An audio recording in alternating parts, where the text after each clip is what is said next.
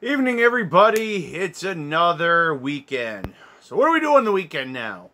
Besides dread going to work, we do comic books every Saturday night. Uh, like clockwork lately, I've been able to get my books from Senor Dan at uh, Dot Com Comics, which I am not going to advertise by saying their name too much here because I have some real disdain for a few of their practices they do down there and a couple of things that have kind of been bad in the past.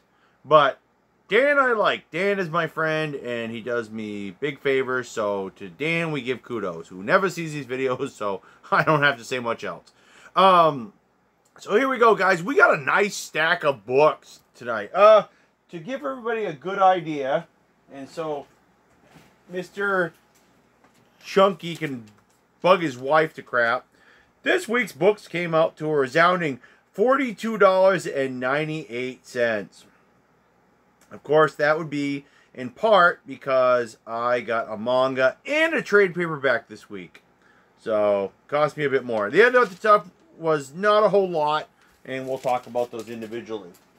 Um, start of my vacation, everybody da da da da da da da da da da da da da da da da da. The it's more important that I starting my vacation now because uh, yesterday sucked. And anybody that's watched my uh, Fate Grand Order video from this morning knows why. And of course, I found out more details about the individual in question um, that was uh, heckling me along with his wife last night as I was doing my job. I found out they're neighbors. And by neighbors, folks, I mean they live about a half mile away from me. But they're still in the same town as me. And they literally live down the road and a couple of feet to the left. They live up the end of my road and then when you get to the end of my road and you get to the main highway, you go about a hundred feet to the left, and there they are, the rat bastards. So great! And of course, this guy is well renowned at my job. So as being an ass. So him and his wife came in and they should have been kicked out. And by that I mean they should have been kicked out of the store most of the time they've been there. They are they are practically professional douchebags. And I'm not just making this up, folks. They have a resounding uh, reputation as being a-holes. So, lucky me. I was the one that got to deal with them last night. And uh, so this today was made up um, it made up for it in resounding leaps and bounds as I was able to talk to my management staff uh, praise the Lord, they were very um, understanding, and I just wanted to inform them and found out that nobody had been informing them about incidents like this and other incidents that happen after they leave at the end of the day. Well, I was more than happy to inform them and give him my personal commentary on what happened. Now, I wasn't a jerk about it. At least I hope it's not how I came across. But I did add my personal commentary in because I don't want to see people at my job suffer because uh, you guys don't accept loose change anymore. No, we accept loose change and we accept cash. But you can't go through a self-checkout with that now. I'm sorry the U.S. Mint is not making a lot of coins right now. Listen to the sound of my small violin play. I don't care.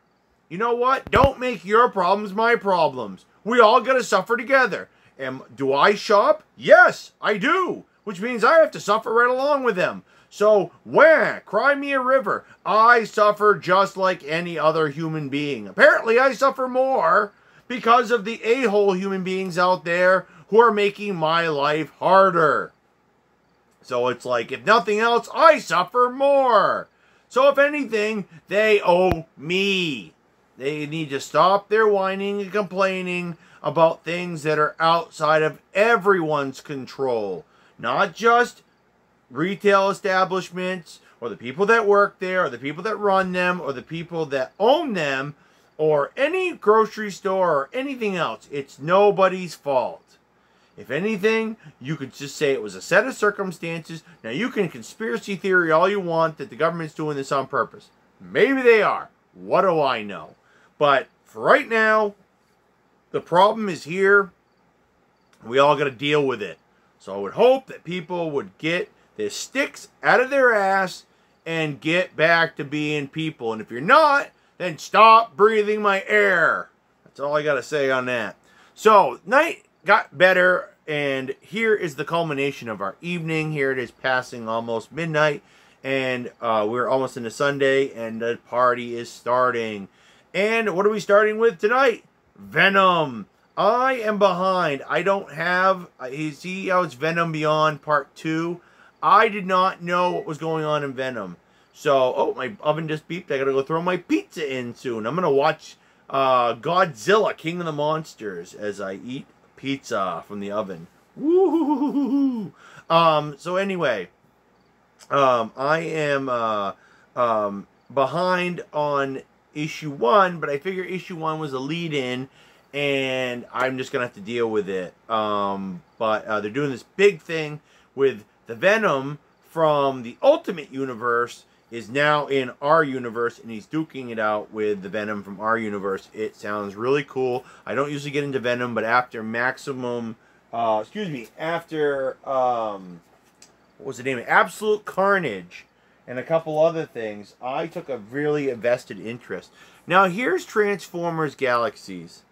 Uh, Transformers Galaxies um, is kind of an offshoot of the Transformer book. I'm looking into it, but I'm starting to think I'm going to drop everything having to do with Transformers, except for the crossovers, because the regular Transformers storyline, I think, is, believe it or not, folks, I think it's going woke. I think it's going very woke, and it's getting to be trashed, and I don't know who's writing it right now, but I don't believe it's going in a direction that I am comfortable with. Let's put it that way. By the way, uh, the Venom book was $3.99, and this is also $3.99. Now, right now I don't know much about Transformers, Galaxy, or otherwise. The big thing I picked up Transformers Galaxy about was the first few issues were about the Constructicons. I don't think they're in the book as much anymore, so we might just dump it for a time. I don't know if I care about uh, consistency. Um, here is Justice League Odyssey, number 23.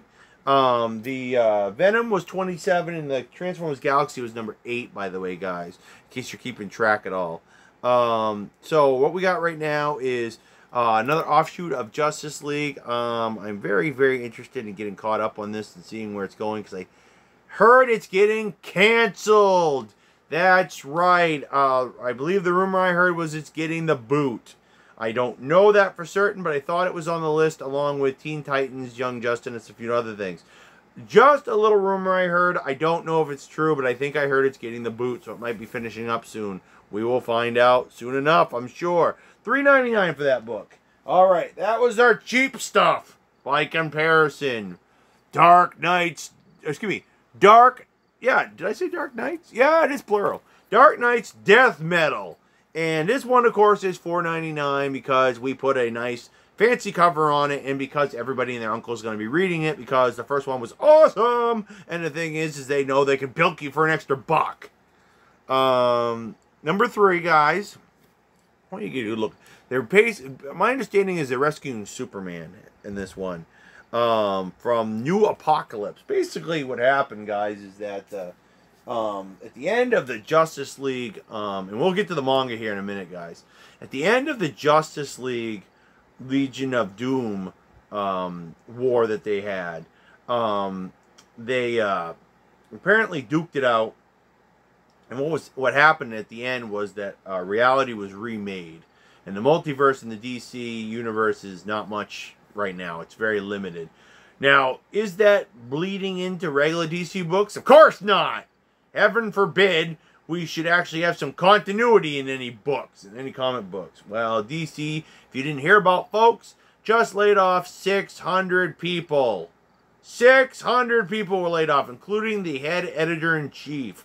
So they're going down the crapper. So they might want to get their collective butts in gear and get their heads out of their butts and uh, be careful because I hear some other people may have their head in the chopping block and um, let's just say you're gonna they're gonna want to keep putting out stuff like death metal and keep getting sales like that because if they decide to start going with more woke, which they did, some of this stuff is garbage. It's gonna come back and bite them in the butt. In the butt.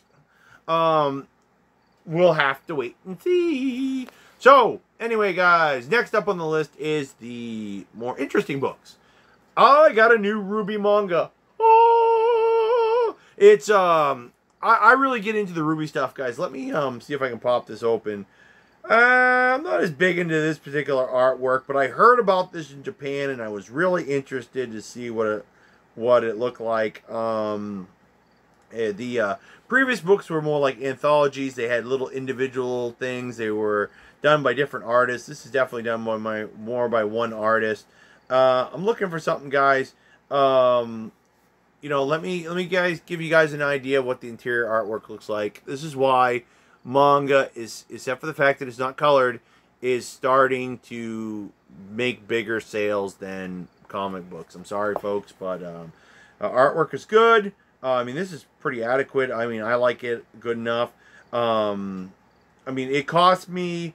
And remember, folks, um, I get a discount. So this was twelve ninety nine, but it was about eleven something by the time I was done. I got a couple bucks knocked knocked off it. So I don't know if there's going to be a future, any more future books after this, guys. But I believe this one is the official manga. I like how they embossed this thing. It's an all red and everything. It's really nice. Um, I want to get one of these for my friend Mr. Bumby, but I don't know what's going to happen. I also know Rooster Teeth is in a bit of trouble themselves. Also, their artists down there, one of their artists makes a crappy looking Wonder Woman. Anybody that's been reading comic books knows about that Wonder Woman 84 cover. It's garbage. It wouldn't even be worth buying to wipe my butt with.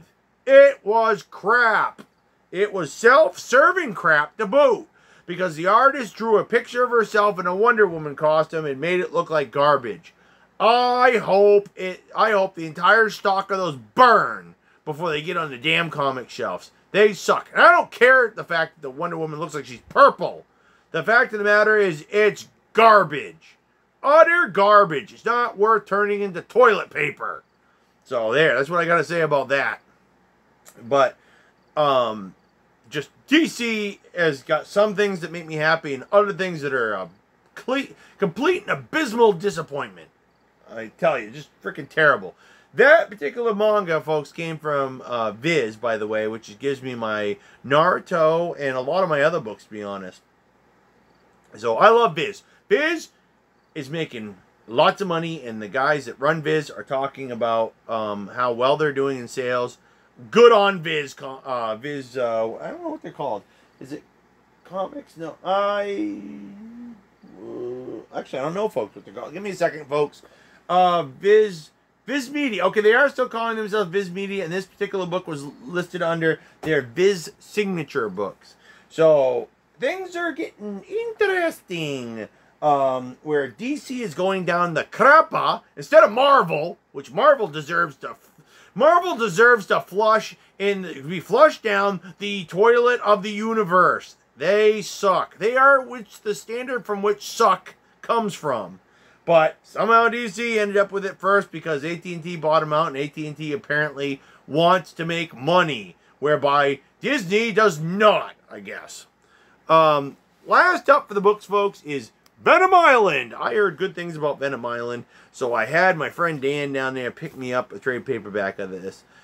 Seventeen ninety nine, but I did get a discount on it. So seventeen ninety nine. That's what really was a big. That's what took a big hit it what cost me so much money this week. Now, why didn't I pick up Venom Island when it was individually out? Well, because I didn't know anything. I didn't know anything about it. I didn't know a dang thing because all they would do is be like, it's Venom Island. You should buy it. It could be Swill, but it's Venom Island. Buy it, damn you. You know, it's like, okay. So, what do you think I did? I didn't buy it. And then I regretted it. It's just the way it goes. Now, um, I want to show you guys. I'm looking through this right now. I want to show you um, some of the interior artwork. Um, I want to tell you guys, this is put out by some of the great. Donny Cates puts this out, but Mark Bagley is one of the pencilers. Andy Owens is the inker. I mean, these are some big names in the comic book industry, guys. Um, they also did some other stuff with um, uh, Ron Lim. Uh, he's uh, he's I want to say I use the term legend, re, you know, loosely, but he's kind of a legend. Everybody knows that name. Um, and um, I'm trying to figure out who the penciler is for some other stuff here, but I know there was other pencilers. I know there was other people did the art for it, guys, but it looks great. And um, uh, thing is, is that I'm trying to see if I can find some stuff here. Uh, da -da -da -da -da -da -da -da. Uh, wonderful, phenomenal artwork, guys. I'm looking through this. Um, this is the idea that they were had behind this one that the Carnage symbiote hung around and he was on the island with him. Um, I'm trying to see if I can find you something that looks really good, guys, so that we can look at that and then see. Uh, so this actually was a good continuation of what happened after um, Absolute Carnage. So I really should have, um, I really should have done some more. Um, oh, here's a great one to look at, guys. Look at the artwork for the, for Carnage there, just amazing. Now I'm guessing that this is the real Carnage, and not, um, or that it's at least a symbiote. But, um, I mean, the thing is, is that it it looks great. Um, uh, some of the artwork looks like what was in Absolute um, Carnage. Um,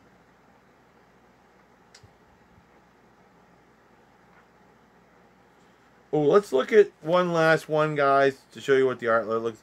Look at this big, look at this big like gatefold thing here they got going. Uh, sorry about the glare off it, guys. But uh, I mean, this is this is great art. This is just great, fantastic art. And I'm I'm really sad I didn't pick up this individually, but admittedly, guys, um, uh, trade paperbacks are the way a lot of people are going now. It really is.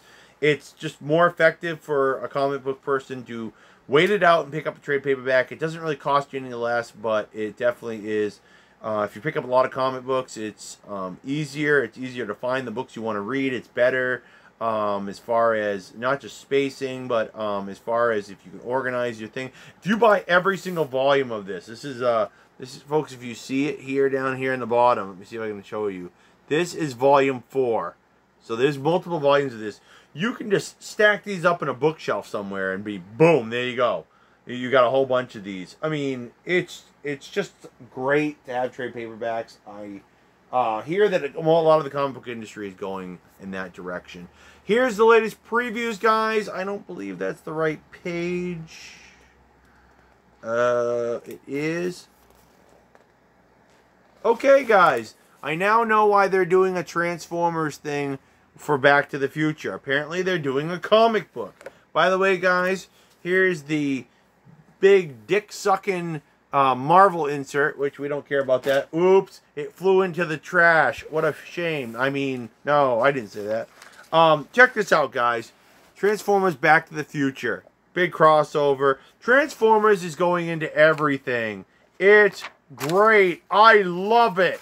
I love that they're putting Transformers and they're crossing over and everything. I forgot that they actually had Back to the Future. Now, this particular Transformer here, folks, there's a real Transformer out here. This they put out one. Guess what? Sold out. It was exclusive to Walmart. Sold off their website in less than a couple of seconds. So you can barely find them anymore. They're putting out one for Top Gun, though. And I am happy about that. Um, I don't know if I, there's anything else really in this. I without DC, the the previews just isn't the same. I'll be honest, and I don't really know if there's much else. IDW guys, Boom Studios. Um, let me see if I can find Boom. Um, there's Boom. Um, they're the they're the last of what I got. There's Mighty Morphin Power Rangers. Um,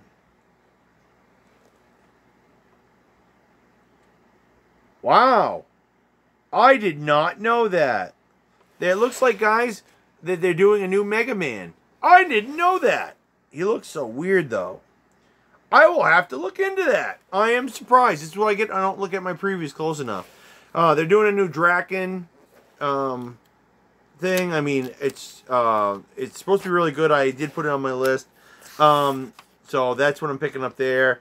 Um, rest of this looks like junk anyway, so it is what it is. Anyway, um, so that's it, guys. That's it for books this week. Um, previews here came out practically a month ago. And um, actually, I think it was maybe just two weeks ago, come to think of it. It would be the last full week we had of last month. And uh, Dan has been trying to remember to get it to me for a couple weeks now. He's forgetting. So, and I also got my good friend, um, Mr. Needham, uh, another buddy of mine. I got him a uh, free comic book day book that he wanted bad from uh, Dark Horse that he wanted back in May. May! And it just finally came out this week, so I got him that too. So I, I get it. I got a really good haul, and I'm really happy. And all I can say is, folks, is I love my comic books, and uh, I want to keep picking them up, but uh, they need to keep putting out more stuff if they want me to keep picking it up. But I don't mean the comic book store. I mean the comic book industry. And we need to keep a close eye on DC because we don't know which direction they're heading in. They could be heading for, you know, basically the big flusher. And Marvel is just putting out Swill. So you know what you do with Marvel, folks? You buy it so you have kindling, so you have something to start your fires with in the winter. That's right. It's all it's good for. $3.99 worth of starter fuel. That's basically what it is. So I just got to say, I am picking up a few things. Marvel puts out Venom, for example. There's a big crossover coming out in December. I'm really excited. But for the most part, Marvel puts out junk. It's the wokest of the wokest of the wokest crap. And I really hope that instead of DC, they're the ones going down the flusher first. But we'll have to wait and see on that one. I heard bad things about the financial struggles of IDW and stuff, so I don't know how much longer we got, guys, but we thought that the beer bug would finish off the um, entire comic industry, and then with all the diamond stuff and everything that went on, and yet they're holding fast for now. Dun dun dun. But we'll see what happens. In the meantime, guys, as I always say, especially with what I've been going through lately, stay healthy, stay safe, enjoy the rest of your weekend, guys, and as always, be good to one another. Because remember, folks, as I said at the top of the broadcast here, don't be an a-hole. Because you know what a-holes do? They make everybody else miserable. And then when everybody else is miserable, they quit their jobs. And then there's nobody to serve the rest of you. So if you see an a-hole, you know what? Tell him nicely, but very firmly, that you need to be a better person because I want to be able to go to my local retail store and buy things. And if you drive all the all the associates off, then who's going to be there to take care of me? Even with all these self checkouts, folks, you still need real people to manage them. So, but there we go, guys. Try to be good to one another because you know what? There's a holes everywhere, and nobody wants to be an a hole. In the meantime, guys, you have a wonderful weekend, and we'll see you next time.